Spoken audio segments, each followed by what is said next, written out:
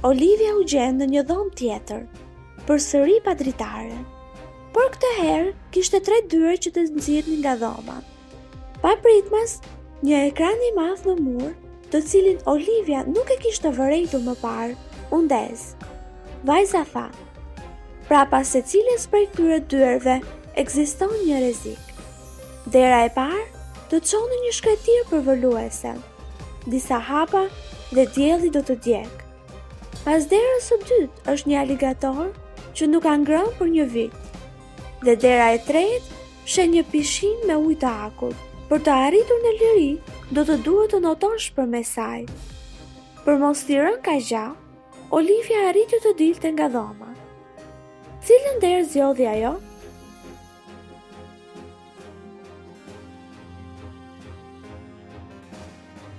Aligatorët me të vërtetë mund të qëndrojnë pa ushqim deri në tre vjet, që do të thotë se krijesa para derës së dytë është e uritur dhe e rrezikshme.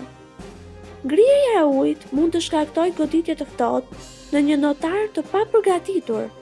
Kjo është arsyeja pse Olivia zgjodhi derën e parë.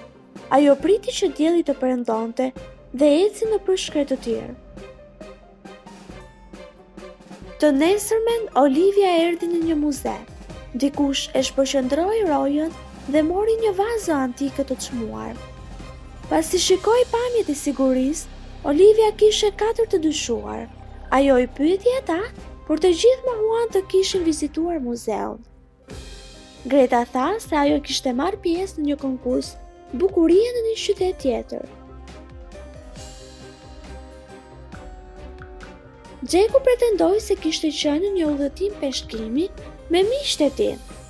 Adi i tha Olivias se nuk ishte interesuar për artin dhe kurrë nuk vizitonte muzeume. Dhe Kristi tha se ai ishte një pilot dhe kishte pasur një fluturim atë ditë. Njëri prej tyre po gënjen. Por kush?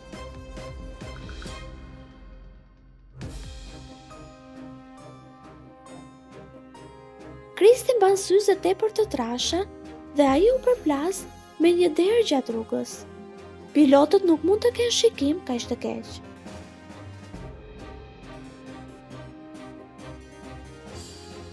Për të përmbushur sfidën e saj të radhës, Olivia duhej të kalonte nëpër një pyll të dëndur. Ndërsa ecte, ajo dëgjoi tinguj të dyshimtë. U shpërqendrua dhe ra në një gropë mjaft të thellë. Krejt papritur filloi shiu. Gropa po mbushej me ujë në mënyrë të shpejtë dhe Olivia kishte një sekret. Ajo nuk mund të notonte. Vajza vështroi përreth dhe dalloi disa objekte aty afër. Një litar të trashë të gjatë, një top të madh dhe një sharrë. Çfarë zgjodhi Olivia për të dalë nga gropa?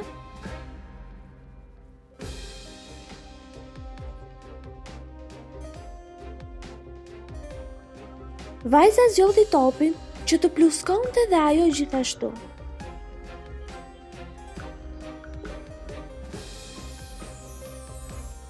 Shoqja e Olivias, Nora, e telefonoi dhe i kërkoi të vinte. Ajo po qante dhe tha se kishte të bënte me burrin e saj, Joyn. Kur arriti detektivja jonë e ardhshme, ajo e dëgjoi historinë e mëposhtme. Joy më tha se duhet të shkonte në një udhëtim pune në male. Ai me të vërtetë Nuk dëshironte të udhëtonte atje, sepse urren motin e ftohtë. Por ishte biznes puna, kështu që u desh. Ai paketoi goxha rroba të ngrohta dhe u largua. Kur Joy mbërriti atje, ai më dërgoi një foto nga një kafene, por unë ndiej se diçka nuk shkon me këtë fotografi. Thjesht nuk po e kuptoj dot se çfarë saktësisht. Olivia nuk kishte nevojë për më shumë se një vështrim në foto dhe ajo e kuptoi se Joy kishte gënjyer gruan e tij. Si e kuptoi ajo?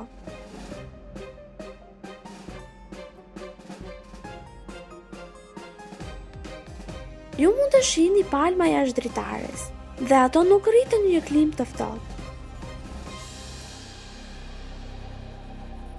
Olivia duhet të vendoste se cilin nga tre të rinjtë ishte më i pamatur.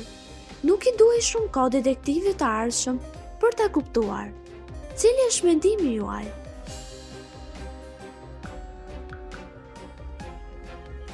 Vajza në të majtë është pa dyshim super e pakujdesshme, por mungesa e mendjes nuk do t'i kushtojë më shumë sesa një çantë e humbur. Vajza në mes nuk është si vajza e parë, Por të ngacmosh një gjarpër? Me të vërtetë? Për fat të mirë, shumica e gjarpërinjve përpiqen të shmangin njerëzit, plus që ky mund të jetë jo helmues. Por djali në të djathtë është i hutuar dhe do të bjerë tek puseta e do ta dëmtojë veten. Dikush vendosi zjarr tek magazina e Zotit Agolli dhe ajo po digjet. Ky biznesmen i suksesshëm ishte i sigurt se konkurrentët e tij ishin pas zjarrvënies. Olivia erdhi për të hetuar çështjen. Tre persona ishin parë afër magazinës para se të fillonte zjarri.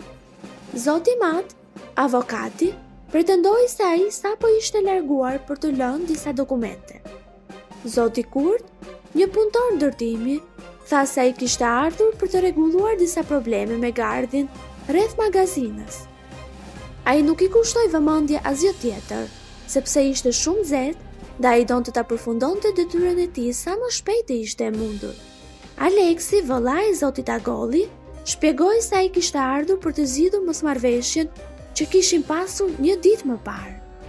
Ai tha, "Po, isha inatosur, por nuk do t'i bëja një gjë të tillë vëllait tim." Askush nga këta njerëz nuk kishte shkrepëse ose çakmak për të vendosur zjarrin, por pasi mendoi për një kohë, Olivia e kuptoi se kush ishte fajtori.